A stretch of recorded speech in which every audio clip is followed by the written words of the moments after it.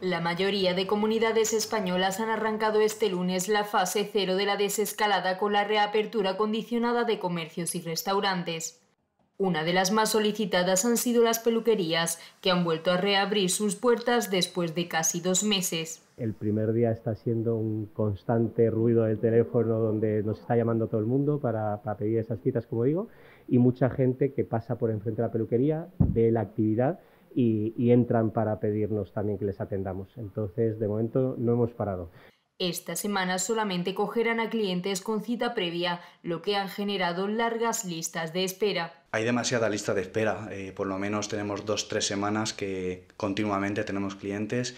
Algunos restaurantes y cafeterías también han arrancado su servicio con comida solo para llevar, como el bar El Cateto de Sevilla, donde los clientes pueden recoger el producto estrella de la primavera en Andalucía, los caracoles. Y la verdad que hemos tenido una aceptación brutal, estamos muy contentos con dadas las circunstancias. ¿no? Y mientras toda la península comienza el camino de la fase cero, las islas de La Gomera, El Hierro, La Graciosa y Formentera son la avanzadilla de la fase 1.